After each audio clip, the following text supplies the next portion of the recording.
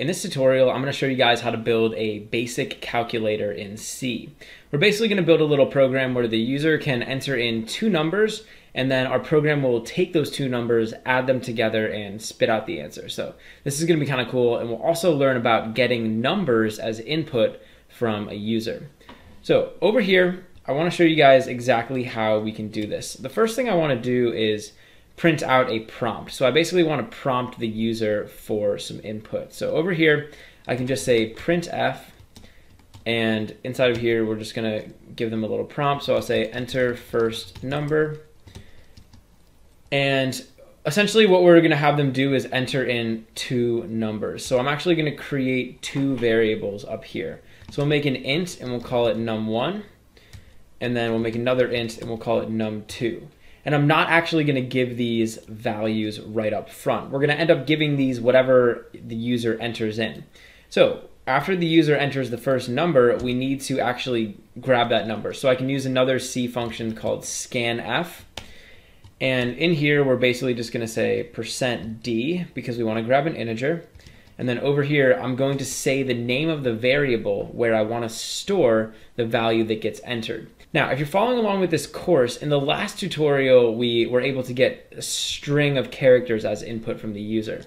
And basically we just typed in like the name of the variable. But when we're getting input that's not a string of characters, in other words, when we're getting input that's not percent %s, so if it's like percent %d or percent %f or percent %c, so if it's like a, a decimal or an integer or a float or a character, we actually need to use a special symbol this ampersand. So I'm gonna have to say ampersand and then the name of the variable where I wanna store this value. So I'm just gonna say ampersand one. And basically what this means is we're accessing the address of num1.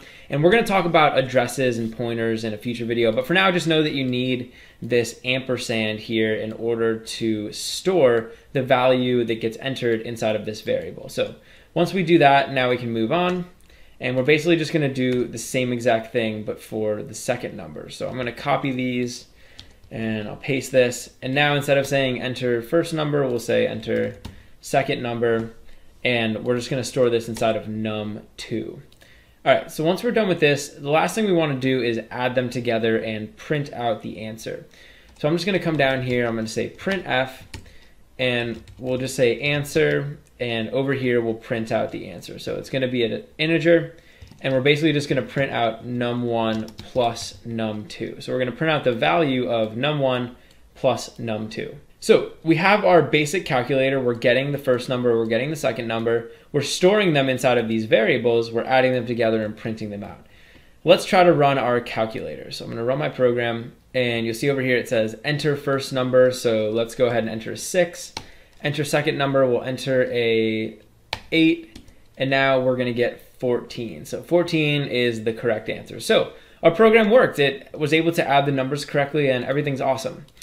But let me show you guys one problem with this program. If I wanted to do math on multiple on decimal numbers, for example, if I said 2 and then over here I said like 6.8, when I add these together, we're not going to get the correct answer. We're going to get 6 plus 2, which is going to be an integer 8, but we're not going to get 8.8. So we're not getting the correct value. So instead of letting the user enter in only integers, why don't we instead let them enter in doubles? So over here, I'm going to change these to double. So I'm to say num1 is going to be a double, num2 is going to be a double. And since we're getting doubles as input, we're going to have to come down here and modify these. So right now, this is accepting an integer but we want to make this accept a double. So normally if we're using printf and we wanted to print out a double, we would say f, and that stands for like floating point number. But when we're scanning for a number, if we want to use a double, we have to say lf, just like that. So down here, I'm also going to say lf, and we'll change this to just f. So printf is a little bit different than scanf, right? In scanf, if we want to accept a double as input, we need to use lf. In printf, we just use percent %f. So Let's run our program now and we should be able to add floating point numbers. So decimal numbers. Over here we'll do 4.5 plus 6.7 and we get 11.2. So that looks good to me. Looks like everything's working properly. And now we have a basic calculator so the user can enter in any numbers that they want and the calculator will be able to handle them. Now, this calculator is not like 100% ironclad secure. Uh, for example, like if I was to come up here and enter in like a string of characters instead of a number, you'll see that it's gonna break the program, right? So it's just like not doing what we wanted it to do. And as we go further in this course, we're gonna learn all sorts of ways that we can check to see if certain things are getting entered correctly, and we could basically mitigate circumstances like that. But for now, this is just kind of an introduction into how we can get numbers as input and do things like addition or multiplication once we have them. In this tutorial, I'm going to talk to you guys about building a little game in C. More specifically, we're going to be building a Mad Libs game. Now, if you've ever played the game Mad Libs, it's basically a game where you write down a bunch of random words. So it could be like, you know, nouns or verbs or someone's name or, you know, a verb ending in ing, something like that. You take all of those words that you enter in and you kind of sprinkle them in into a story. And then generally the story is like kind of funny because it has all these random words in it. So actually, if we head over to my web browser, you'll see I have a picture of a Mad Lib up here. And basically, you just add in a bunch of random words into the story, and then you'd read the story back, and it could be kind of funny. So I'm going to show you guys how we can build something like that in C. And we're also going to talk about some more ways that we can use that scanf function that I showed you guys in the last tutorial. So over here we have um, a little story that I've printed out. It just uh, says, roses are red, violets are blue, I love you. Kind of like a classic poem. But I think this poem would be a lot funnier if we turned it into a Mad Lib. So that's exactly what we're going to do. I'm going to replace roses are red. I'm going to replace red with a random color. So we're just going to have the user enter in a color. I'll replace violets with a plural noun. So we're going to have them enter in a plural noun. And I'm going to have, instead of saying I love you, we're going to say I love and then a specific celebrity. So I'll just type in celebrity right there. All right, so this is basically what we're going to be printing out. We're going to be printing out roses are, and then whatever color they enter in. Uh, plural nouns are blue, and then I love whatever celebrity. So let's talk about actually creating this program. So we're actually going to need to do a couple things. Uh, and actually, the first thing I want to do is I want to create variables. We're going to create variables to store the color that the user inputs, the plural noun that the user inputs, and the celebrity the user inputs. We're going to create three variables. And these are basically going to be uh, character strings. So they're going to be uh, collections of characters and we can store them in, uh, in a variable. So I'm going to create some of these variables. Why don't we create one for color? And remember, whenever we create a uh, string or like a collection of characters, we need to make these open and closed square brackets.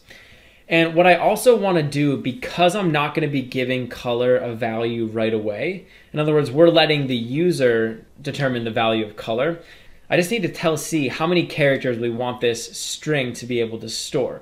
That way C knows how much memory it needs to allocate for this variable. So I'm just going to say 20, and we'll basically just say they can enter in a color that is up to 20 characters. We're going to do the same thing for plural noun. And again, we'll let them enter in 20 characters maximum. And finally, we're going to do the same thing for celebrity. So again, 20 characters sounds good. All right, now that we have our variables created, I want to actually get information from the user. So I want to prompt the user for information, and I want to take the information that they entered in, and I want to store it inside of each one of these variables. First order of business is to prompt them for input. So I can just say printf, and inside here we'll basically just type in enter a color. Once we've prompted them to enter the color, we can actually get whatever color they enter and store it inside of a variable. I'm going to use a function called scanf. And over here, I'm going to accept a string. So I'm going to accept a string of characters. And we're going to store this inside of our color variable, just like that.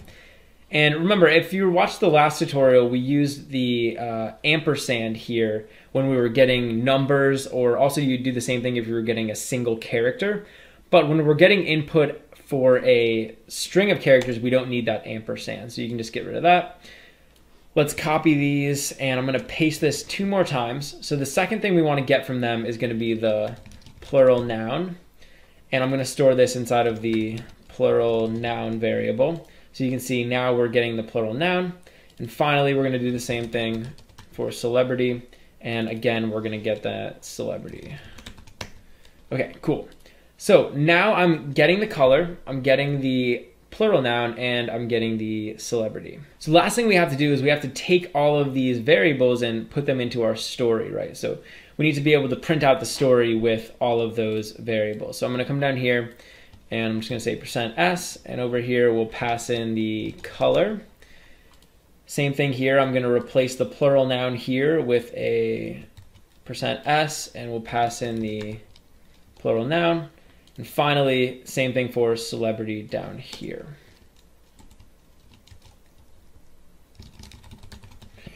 All right, so everything seems to be wired up, and you'll notice that I have new lines here so that this story prints out on new lines. Let's go ahead and run this program, and we'll see how we did. So over here, it's prompting us for a color. Why don't we enter in magenta? Enter a plural noun. Let's do microwaves and enter a celebrity, why don't we just say Prince? So when I click enter, it's gonna say roses are magenta, microwaves are blue, I love Prince.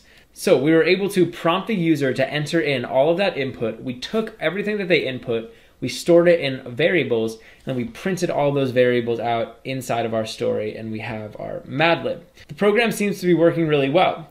I do want to show you guys one way that this program could mess up. So let's go ahead and run this again. So let's enter in a different color. I'm gonna enter in like blue, enter in a plural noun. So why don't we enter in phones? And now enter in a celebrity. So I'm gonna show you guys one way that we could actually break this program. If I entered in a celebrity with a first and a last name, like Tom Hanks, when I click enter now, you'll notice that instead of saying I love Tom Hanks, it's only saying I love Tom. Here's the problem.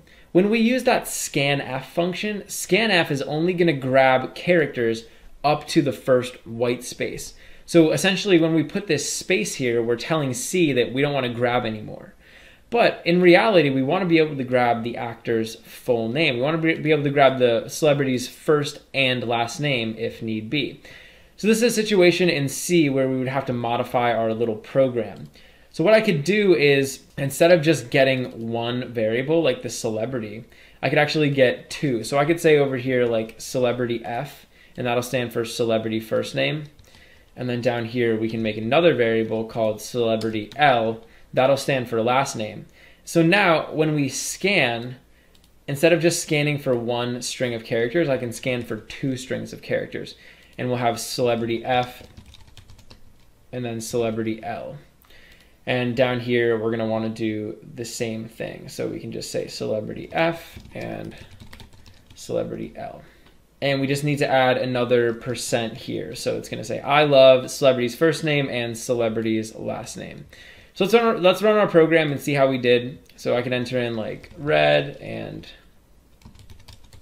microphones. And now we can enter in Tom Hanks and we're printing out the actor's first and last name. So that's one way that we could remedy this program and make it be able to accept two inputs with a space in the middle. And that also just shows you guys a little bit more about how scanf works. So it's gonna stop scanning, it's gonna stop getting the input at that first space. Now, here's the thing about this program though. If I wanted to enter in a celebrity with uh, who only had one name. So if I only wanted to enter in one, the program actually isn't going to be able to handle that. So if I said like hats, and down here if I said like Gandhi, and I click enter, you'll notice that it's still waiting for me to enter in a last name, right? So I could enter in something here, and then the program will work, but it was waiting for me after I entered in just that one name. So that's something that you're going to have to, you know, play around with in your programs basically C is going to force you to be very specific about what the user is entering. So if the user needs to enter two things, like two words, then you need to specify that. If the user is only going to enter in one word, you have to specify that. So you have to be very specific when you're getting input from the user like that.